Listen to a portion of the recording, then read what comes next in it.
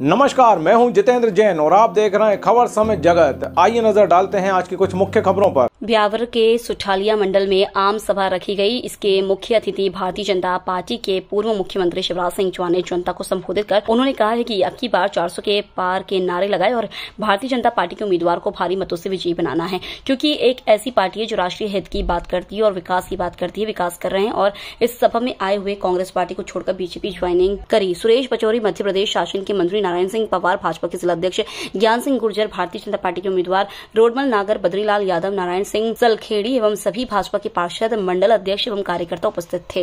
आगे और आज मुझे गर्व है कि हमारे प्रधानमंत्री नरेंद्र मोदी जी के नेतृत्व में भारत की प्रतिष्ठा पूरी दुनिया में लगातार बढ़ रही।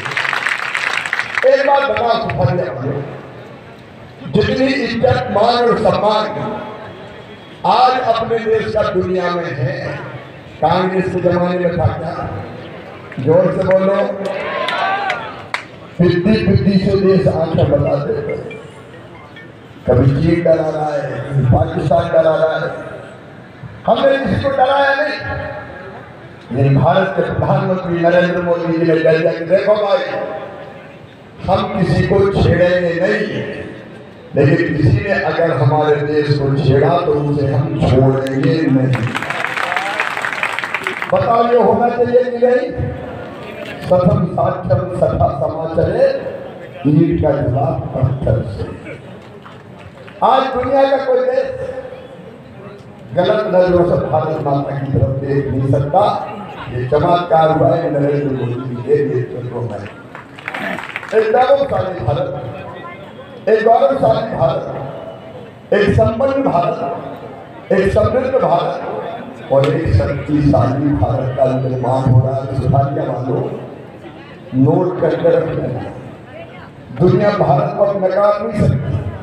और आने वाले समय में भारत विश्व गुरु बनेगा विश्व गुरु रोक नहीं दुनिया की तीसरी सबसे बड़ी अर्थव्यवस्था की सरकारी काल में मोदी जी के बनने वाले। एक तरफ़ देश का मान सम्मान प्रतिष्ठा इज़्ज़त और दूसरी तरफ़ विकास के काम। आप बताओ। पूर्व मुख्यमंत्री एक जो दस साल यहाँ रहे, उनके जमाने में रोडों की हालत कैसी थी? अरे बोलो नहीं। मांगे मांगे तुम्हें तो पता ही नहीं है रे। सड़क में गड्ढा गड्ढों में सड़क गड्ढम गड्ढा। गाड़ी खाए ही बोले हड्डा पसरा सारे डोले याद आ गए संकट भूल गए। मैं चला गया पटोरी जी लड़ने मैंने कहा मुख्यमंत्री का क्षेत्र चक्का होगा। लेकिन उस चुनाव में मुझे खेलों में गाली बुलानी पड़ी क्योंकि सड़कें थी वाह राजा क्या दिया इस प्रदेश को बताओ? ईमानदारी से लोग क्या प्रदेश? को? ब्यावरा से खबर समय जगत के लिए देवी सिंह सोंधिया की report. For latest news subscribe to our channel